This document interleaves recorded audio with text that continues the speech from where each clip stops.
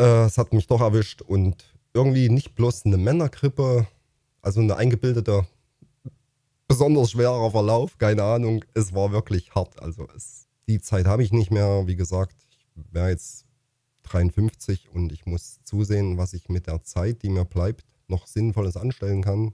Im Großen und Ganzen war es aber schon auch sehr, sehr, sehr frustrierend auf YouTube und Twitch unterwegs zu sein, Instagram sowieso.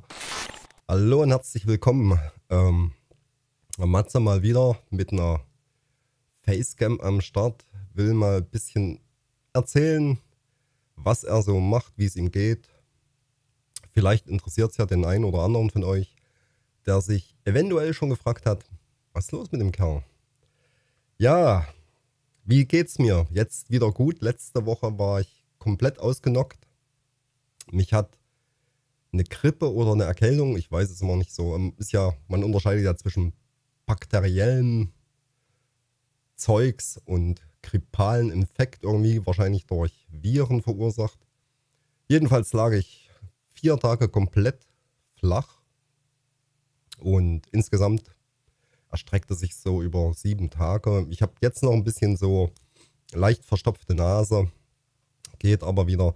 Frauchen fing an, das Zeug in die Bude zu schleppen. Und äh, ihr ging es auch gar nicht so schlecht, ja. Und ein bisschen Schnupfen gehabt, ansonsten nichts. Ist fröhlich zur Arbeit marschiert und ja, hat ihr Ding gemacht sozusagen, wie immer. Und ich hatte nichts. Ja, ich, sie hatte es schon ein paar Tage und ich dachte mir, ey, geil, ja, Matze kommt davon, scheiße war's. Äh, es hat mich doch erwischt und irgendwie nicht bloß eine Männergrippe, also eine eingebildete, besonders schwerer Verlauf, keine Ahnung. Es war wirklich hart. Also es, ich, ich habe ja versucht, dagegen anzukämpfen, aber das ist, äh, machst du nichts irgendwie. Mir tat das ganze Gesicht weh, also Ohrenschmerzen, die Zähne taten weh, hier so, so hier im ganzen Gesichtsbereich, Kopfschmerzen, äh, Rückenschmerzen im unteren Rücken, die Knöchel, die Knie, alles tat weh. Also sowas bildest du dir nicht ein, bloß damit du irgendwie wahrscheinlich hat eh keinen gejuckt. Meine Frau, äh, ja nun, bist halt krank, was, was soll ich machen? muss mich auch keiner bemuttern. Ich bemuttere mich dann selbst und so. Immer Teechen gekocht. Apropos Teechen, jetzt kann ich endlich mal wieder Kaffee genießen. Prost. Ja, ansonsten, was gibt's sonst so? Ähm, YouTube ist weniger geworden. Streamen gar nicht mehr. Ihr seht es auch. Der Greenscreen im Hintergrund. Was flackerst du denn immer so, so unscharf? Ähm, der Greenscreen ist weg. Ähm, muss jetzt nicht heißen, dass ich nicht wieder streamen werde oder könnte. Momentan kein Bock irgendwie und auch YouTube.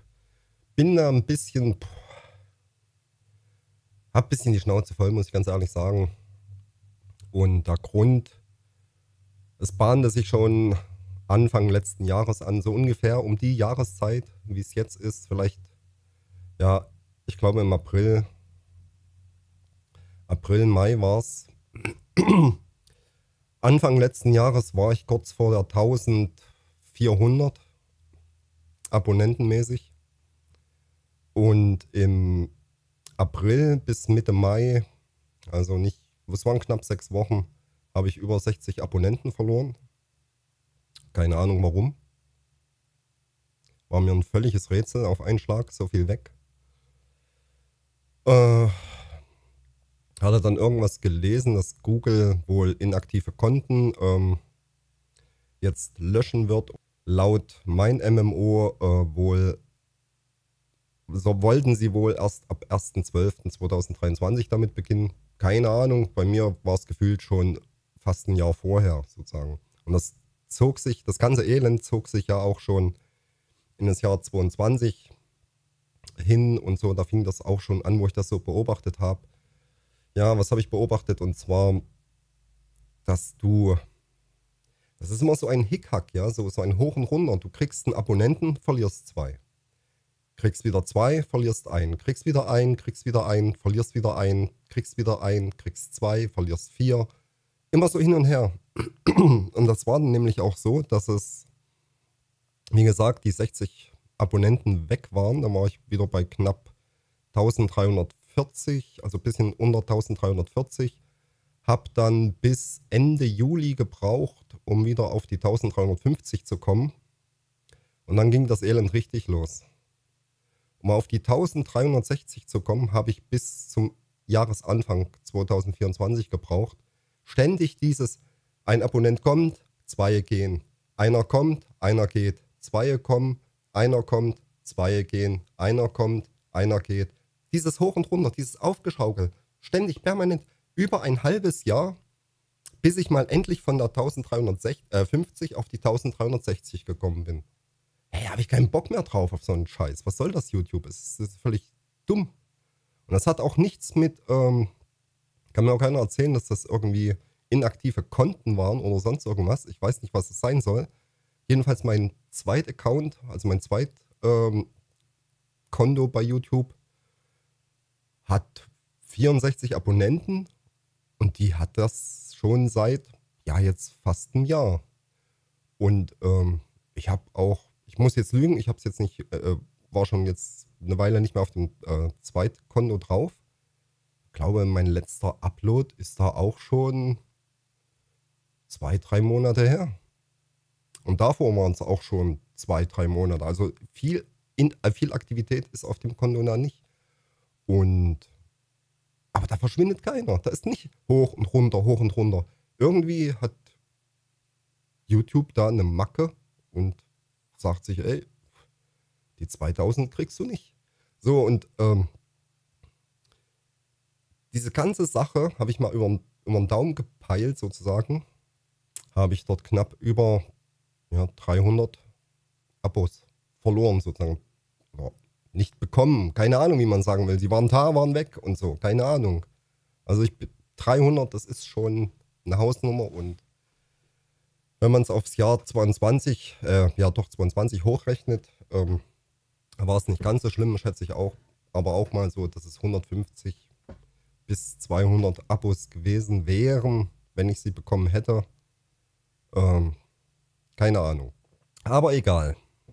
So, und dann war Matze ein bisschen frustriert und sagt sich, wozu die ganze Scheiße, bringt ja alles nichts. Und hat das jetzt ein bisschen so eingeschränkt.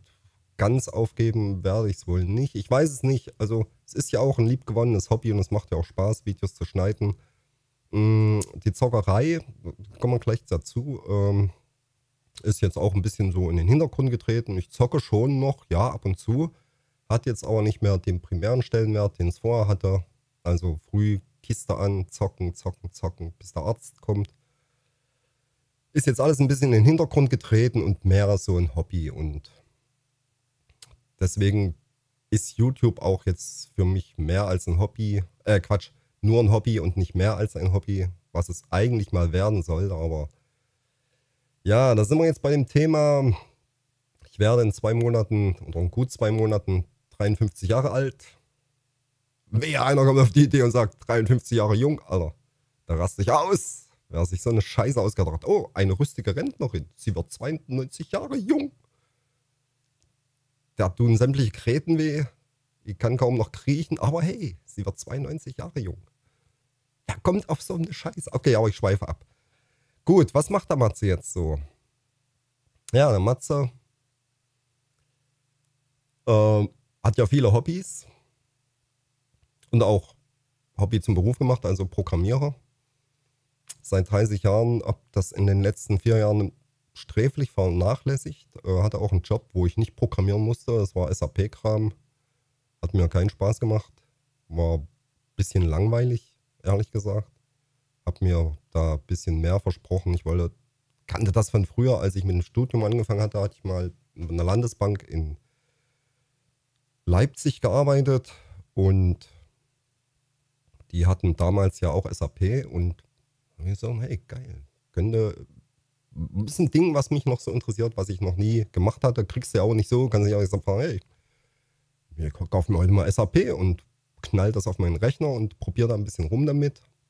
Ist ja nicht. Kriegst kaum Literatur, also ich habe noch nie irgendwie groß ein Buch gesehen oder gibt es überhaupt Bücher zu SAP oder sowas. Und ich glaube, die hatten damals programmiert oder konntest du auch programmieren, ABAP. Wenn ich mich nicht irre, straft mich jetzt Lügen sozusagen. Jedenfalls dachte ich, man kann da programmieren. Kann man wahrscheinlich auch irgendwas, keine Ahnung, aber ich durfte es nicht. Ich durfte bloß so sogenannte Berichte fertig machen, Universen erstellen und war überhaupt nicht zufrieden damit. Das hat mich gelangweilt hoch vier. Ähm, naja, es ist, ich muss Code klimpern, ich brauche eine Kommandozeile, an der ich rumklimpern kann, wie unter Linux, richtig geil. Also ist, sowas braucht der Matze. Äh, ja, jedenfalls geht es jetzt sozusagen back to the roots. Äh, wieder ein bisschen programmieren. Hobbymäßig habe ich mich dazu entschlossen, so ein bisschen so Richtung Spieleentwicklung zu gehen, aber nicht jetzt mit dem Ziel, irgendwann mal ein fertiges Spiel zu programmieren oder so, sondern mehr erstmal wieder was zu programmieren zu haben, sozusagen. Und zweitens auch so, so ein bisschen so das technische Know-how zu kriegen. Mich interessiert, wie, wie passiert sowas, wie, wie ähm, kann man es realisieren, wie kann man Probleme lösen in einem Spiel, wie gerade jetzt äh, aktuell die letzten, naja, gute zwei Wochen waren es schon, wo ich mich mit äh, Kollisionserkennung rumgeprügelt habe. Die haben zwar, ich benutze PyCam sozusagen. Die haben zwar eine Collision Detection drin, aber die ist meiner Meinung nach für, mein, für meine Vorstellung war das nicht so zufriedenstellend. Ähm, und habe ich ein bisschen rumprobiert und gebastelt. Gibt da auch noch mal ein paar Videos dazu, denke ich mal, ähm, was mich daran irgendwie ein bisschen so gestört hat. Das funktioniert alles wunderbar, wenn du mit mit auf Rechtecken basiertes Terrain hast oder dein Sprite ist ja auch ein Rechteck und die Kollision halt auf Basis von Rechtecken ähm, abziehst sozusagen, ist so wie es die Videos in, auf YouTube erklären, ist es nicht hundertprozentig zufriedenstellend, aber sie zeigen ja schon mal ungefähr, wie es geht. Gibt da noch ein paar Hürden, die, die es zu überwinden gilt. Aber das wird jetzt zu technisch, das wird dann irgendwann mal ein extra Video. Und ja, wie gesagt, hatte ich angefangen mit Unreal Engine rumzubasteln. Hat auch Spaß gemacht, ist aber so eine Sache, du bist halt sozusagen spezialisiert. Oder ja, doch spezialisiert auf die Unreal Engine und kannst auch programmieren, aber im Endeffekt war es für mich nicht so das, was ich wollte. Ich habe ohne zu programmieren dort ein bisschen was hingezimmert mit den ähm, Blueprints und so. Geht auch recht gut und recht schnell, muss man sagen. Aber habe mich dann im Endeffekt dann doch für PyGame entschieden und macht Spaß, funktioniert auch recht gut. Ja, ansonsten hat der Matze ja ich glaube, was, ich weiß gar nicht mehr, wie lange jetzt schon vor drei Jahren ein Keyboard geholt. So, Sohnemann meinte, er war bei einem Kumpel und der hatte, der kann Klavier spielen und so. Und Sohnemann saß da immer mal so am Klavier und sein Kumpel hat ihm so ein bisschen was gezeigt. Jetzt nicht notentechnisch, sondern hat ihm gesagt, drück das, drück das. Und hat so seine Hände geführt, bis Sohnemann halt ein bisschen spielen konnte. Und Sohnemann dachte sich, hey, geil, will ich auch haben. Also Papa äh, ein Keyboard geholt hingestellt für Sohnemann. Sohnemann, kein Bock. Keyboard stand da, Sohnemann saß in seinem Zimmer und zockt. So, was mache ich nun? Ja, da habe ich gedacht, okay, mach, benutze ich's, okay, gesagt, getan, nicht gemacht. Weil nur am Zocken, nur am Streamen und Videos schneiden. Und jetzt seit äh, Februar sitze ich wirklich regelmäßig dran an dem Ding und bringen mir das selber bei sozusagen. Ich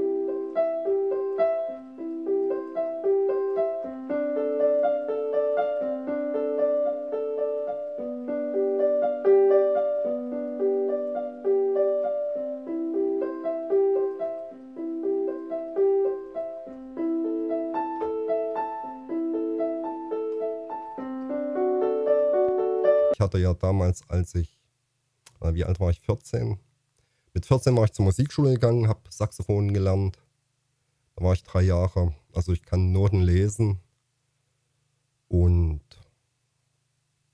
ist jetzt natürlich so eine Sache, zweihändig, ja, linke Hand, rechte Hand und so. Aber es geht schon, geht schon viel besser. Also viel, es geht besser, als ich es mir dachte, wie es geht. Ja.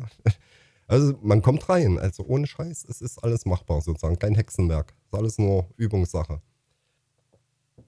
So, das ist jedenfalls das Hobby. Was noch? Lesen, genau. Matze will auch mal wieder mehr lesen. Das habe ich in den letzten, ach man, seitdem wir hier eingezogen sind in das Haus, vor sieben Jahren, seit sieben Jahren schon nichts wirklich mehr gelesen, also buchtechnisch sozusagen. Das will ich jetzt wieder, oder das mache ich jetzt wieder mehr. Ich habe auch festgestellt, dass meine Augen irgendwie schlechter geworden sind. Ich hatte am Anfang Augen wie ein Luchs, konnte Verpackungszeug lesen. Hier das, das Zeug auf diesen Verpackungen, Augentropfen für trockene Augen. Das geht aber jetzt alles mittlerweile wieder, seitdem ich nicht mehr so viel zocke. Jedenfalls konnte ich das Kleingedruckte da nicht mehr lesen. Und auch nicht mehr so nah, wenn mir jemand was nah vors Gesicht. Ich, es, war alles nur eine verschwommene Masse und so. Und jetzt durch das Lesen sozusagen wird das alles wieder besser. Ich weigere mich auch weiterhin irgendwie mich mit dem Gedanken abzufinden, dass ich irgendwie eine Brille brauche oder sowas. Brauche brauch ich nicht. Ich glaube, das ist alles. Deine Augen sind ja auch so Muskeln oder so. Keine Ahnung. Nicht die Augen selbst, sondern äh, die, der Sehnerv oder sowas, den kannst du ja trainieren.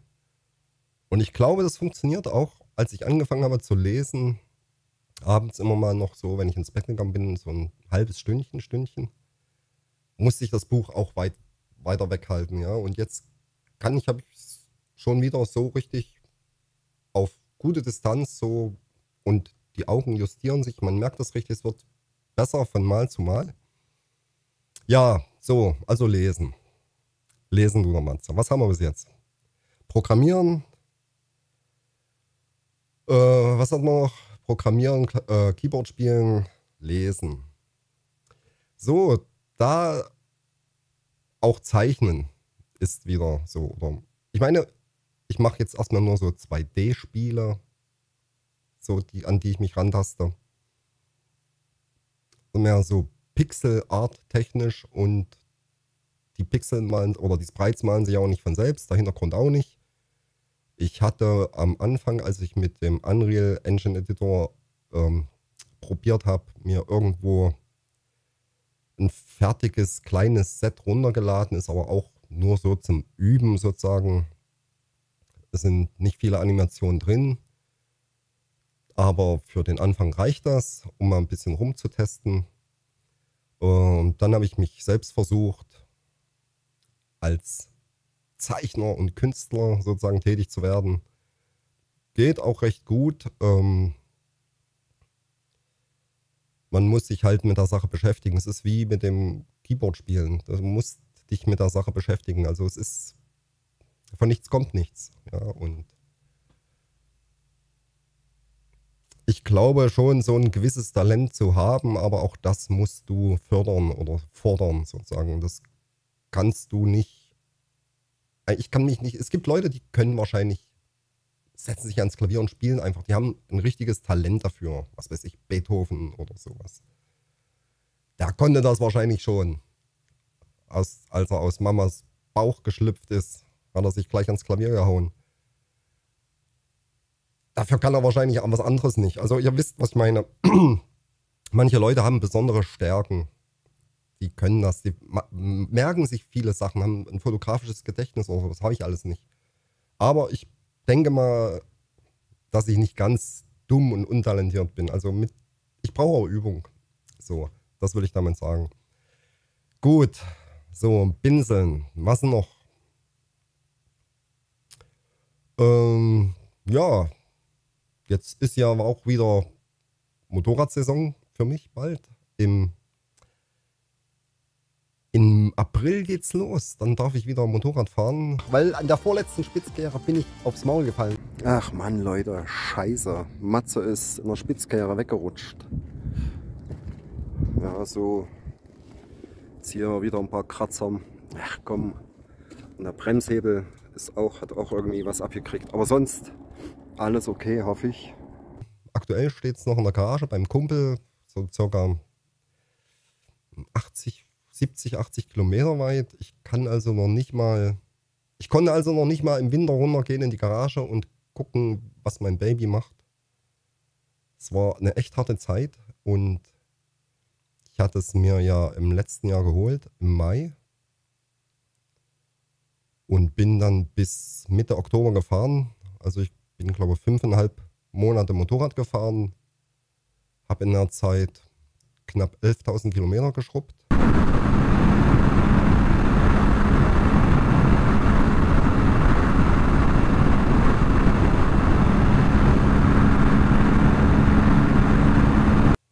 Und bin jetzt dann, wenn ich es wieder abhole, über fünf Monate nicht gefahren, sozusagen. Also jetzt geht es dann in die zweite Saison und ich freue mich schon. Ich, ich habe es Baby echt vermisst, gerade die Anfangszeit, Anfangszeit, als es nicht mehr hier auf dem Hof stand, war schon echt hart, aber ich hatte halt das Gewissen, das gute Gewissen, dass sie gut untergebracht ist. Sie stand in der Garage, beheizt sozusagen. Kumpel fährt ja selbst, ist ja selbst Biker. Standen die zwei Babys nebeneinander.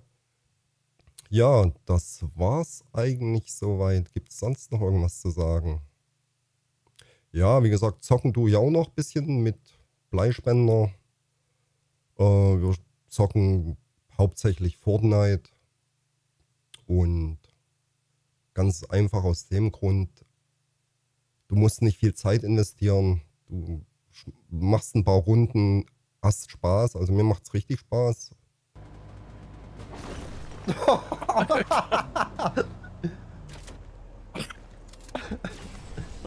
Alter, nee. Ja, guck, wir haben keine Zeit. Alter, wie schnell ist denn die scheiß Zone? Boah. Nein, komm, mach doch, jawohl. Du fliegst ja. Du, Ja. du kannst ja in der Zone fliegen. Ja. Warte auf Neustart. Hä? Musst jetzt nicht wie bei Tarkov wirklich Stunden um Stunden investieren, um dort vorwärts zu kommen. Die Zeit habe ich nicht mehr. Wie gesagt, ich wäre jetzt 53 und ich muss zusehen, was ich mit der Zeit, die mir bleibt, noch Sinnvolles anstellen kann. Ja, so, das war es erstmal soweit von mir. Habt ihr einen kleinen Überblick. Ja, wie gesagt, die Videos, die ich bei, bei YouTube jetzt noch hochlade, mache ich just for fun. Also ich habe auch schon die letzten Videos, keine Ahnung, wann ich damit angefangen habe, dieses, dieses, diesen Abo-Hinweis und bitte liken und diesen ganzen Scheiß habe ich alles rausgenommen. Wer liked, hat, dem gehört mein Herz. Wer abonniert, den heirate ich. Äh, versteht sich von selbst sozusagen, dass ich euch dann dankbar bin für, für Likes, Abos oder Kommentare weiterhin. Ich will aber explizit nicht mehr darauf hinweisen, weil ich es auch Quatsch finde.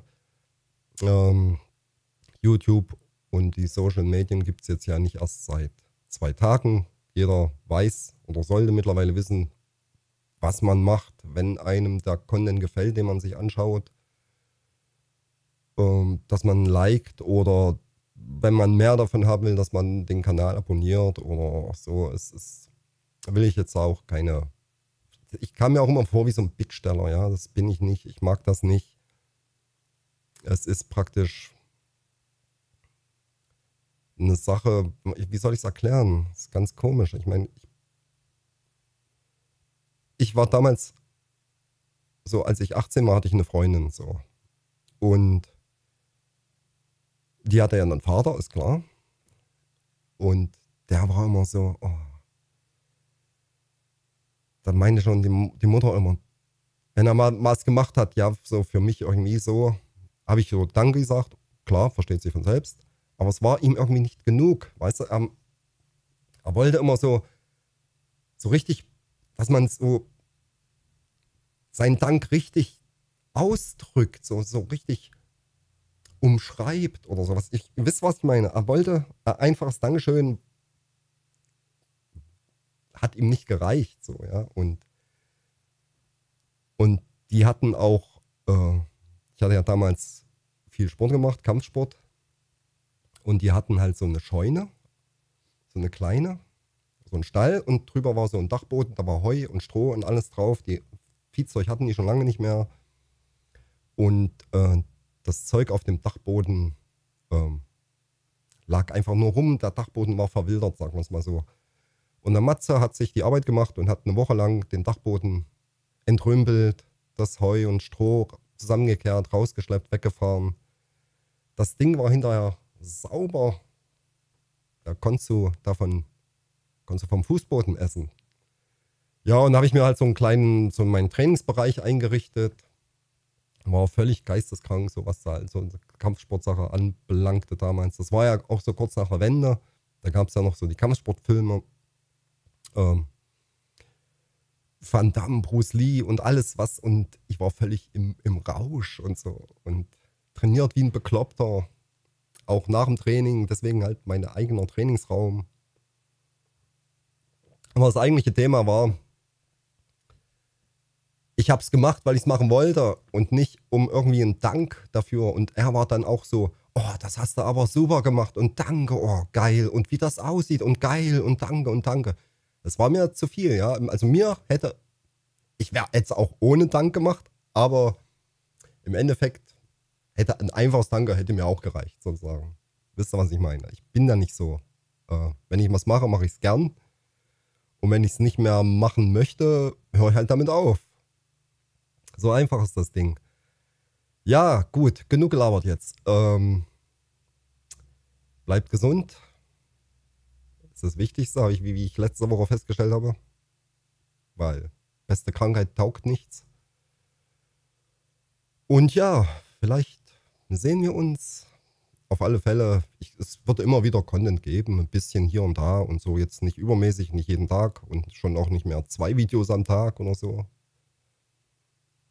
Ähm, bleibt dabei oder nicht. Es ist alles euch überlassen. Mir ist das alles nicht mehr wichtig. So, ich meine, es war eine schöne Zeit, muss ich sagen. Viele nette Dudes kennengelernt und auch zusammengezockt und so. Ich glaube, wir hatten schon auch richtig Spaß. Gerade auch hier mit dem mit, ähm, mit einem Ranch Simulator, wo wir zu viert gezockt haben. Also es war, fand ich richtig geil und mit der Community und mit Klaus und Benji ähm, Tarkov zocken.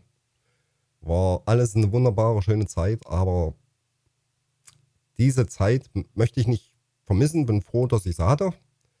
Im Großen und Ganzen war es aber schon auch sehr, sehr, sehr frustrierend auf YouTube und Twitch unterwegs zu sein, Instagram sowieso.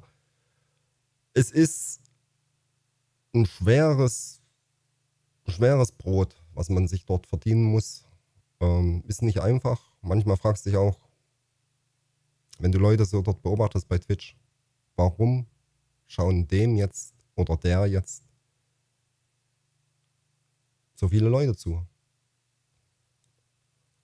Aber das ist halt ein Thema, wo ich gar keinen Gedanken mehr verschwenden möchte oder will. Es ist, es ist halt so, wie es ist. Und ich lebe damit jetzt ganz gut. Wie gesagt, es war bloß so Sachen, wo du wirklich schon manchmal stellenweise kurz vor der Depression standest. Ohne Witz. Also du hast manchmal echt gedacht, was mache ich falsch? Hast irgendwie ständig versucht, das zu begreifen, dir zu erklären und es führt einfach auf keinen grünen Zweig. Es ist genau jetzt wie mit den Abos, die verschwinden halt. Ja, mein Gott, YouTube, dann leck mich doch am Arsch. Dann verschwinden halt die Scheißdinger. Ja, was sie dafür aber gut gönnen, YouTube, es ist Werbung einblenden. Werbung bis zur Besinnungslosigkeit. Werbung, die du nicht mal mehr wegklicken kannst. Also richtig, also manchmal möchte ich das YouTube gar nicht mehr anschalten, weil es mir auf den Sack geht.